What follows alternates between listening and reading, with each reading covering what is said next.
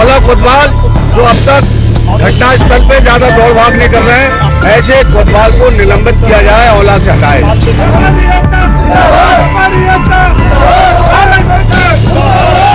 ऐसे बदमाशों का सरकार इनकाउंटर कर रही है, तब भी इनकी अकल ठिकाने में आ रही है।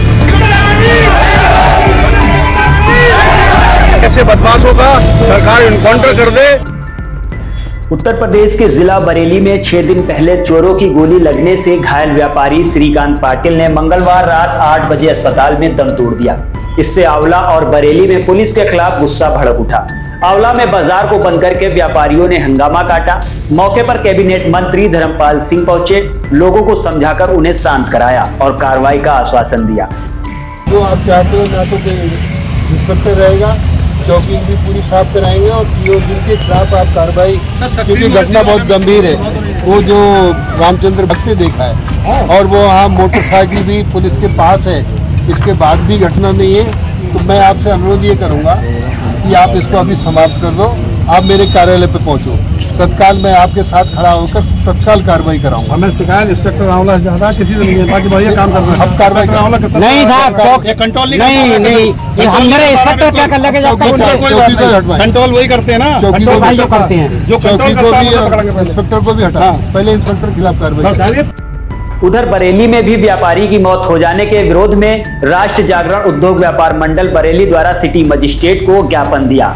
बता दें मोहल्ला बाग बक्सी इफ्को कॉलोनी के रहने वाले 44 साल के श्रीकांत पाटिल उर्फ़ मराठा मोहल्ला पक्का कटरा में सुनार का कारोबार करते थे।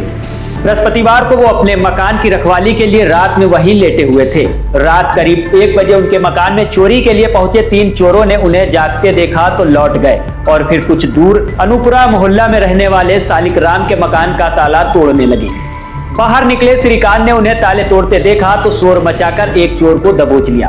उठा पटक के बीच चोर ने तमंचा निकालकर उनके पेट में गोली मार दी। गंभीर घायल श्रीकांत को बरेली के एक निजी अस्पताल में भर्ती कराया गया, जहाँ मंगलवार रात करीब आठ बजे उन्होंने दम तोड़ दिया।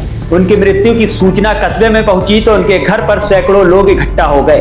कस्बे के व्यापारी नेता अस्पताल रवाना हो गए। व्यापारियों ने बताया कि श्रीकांत की जान पुलिस की नाकामी की वजह से गई है। देखिए व्यापारियों ने क्या कहा।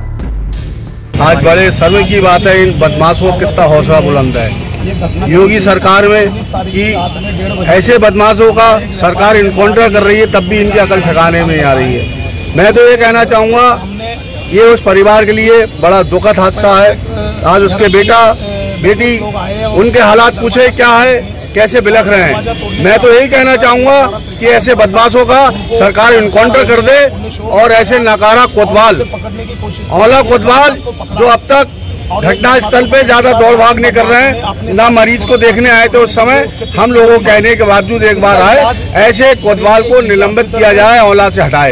बरेली ज़िले में आंवला तहसील में ये बहुत ही दुखद घटना घटी है, जो हमारा सोने चांदी का वर्कर था व्यापारी था हमारा। उसके उन्नीस तारीख की रात में उसके घर के सामने वाले घर में कुछ डकैत लूट के इरादा करके उस घर के दरवाजे को तोड़ रहे थे। उसकी आवाज़ सुन के ये श्रीकांत पाटिल जो है, उसकी आवाज़ सुन के उनने शोर मचाया और इन लोगों ने एक चोर को दबोचा और उस चोर को छुड़ाने के चक्कर में उसके साथियों ने, चोर डकैतों के साथियों ने उसके पेट में गोली मारी और अत्यंत दुर्दैवी घटना है कि जिसका चार पाँच दिन से बरेली के निजी हॉस्पिटल में इलाज चल रहा था, वो एक्सपायर हो गया। तो आज हम माननीय मुख्यमंत्री जी से निवेदन देने आए हैं कि ये छोटा सा परिवार और ये डकैतों के कारनामे से इसकी दुर्दैवी मौत हो गई है। इसके परिवार को कुछ ना कुछ मुआवजा मिले और इसके परिवार के किसी सदस्य को सरकारी नौकरी मिले और इस घटना का अभी तक आंवला पुलिस ने कोई भी खुलासा नहीं किया है कि हम माननीय मुख्यमंत्री जी को डीएम साहब के माध्यम से ज्ञापन देने आए कि इस घटना का खुलासा जल्द से जल्द किया जाए और आरोपियों के ऊपर सख्त से सख्त कार्रवाई की जाए।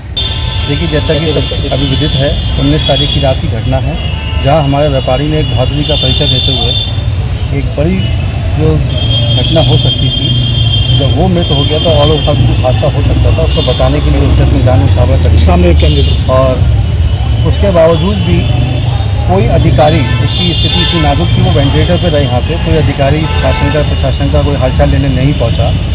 और जब हम लोगों ने वहाँ संपर्क में आया उनका परिवार से संपर्क में आया हमने अधिकारियों से शिकायत करी तो इंस्पेक्टर आंवला पहुँचे।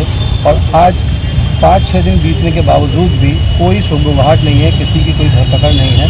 तो ये की लापरवाही दिखाती है कि कितनी बड़ी लापरवाही हो रही है, इतनी बड़ी घटना के बावजूद भी अभी तक खुलासा नहीं हुआ है। तो आज हम समस्त व्यापार मंडल पदाधिकारी के लोग इस मांग करने आए हैं कि इस घटना का जल्द से जल्द खुलासा हो और जो भी पुलिस लापरवाही की इसमें चल रही है, दोषी उनके खिलाफ कार्रवाई हो और उसके परिवार को सद्भावना के लिए जो भी एक मुआवजा दे सकते हैं, क्योंकि वो एक चांदी सोना दिलाने का काम करते थे, व्यापारी थे तो उनके कच्चा परिवार है, उनके परिवार को कोई सरकारी मुआवजा दिया जाए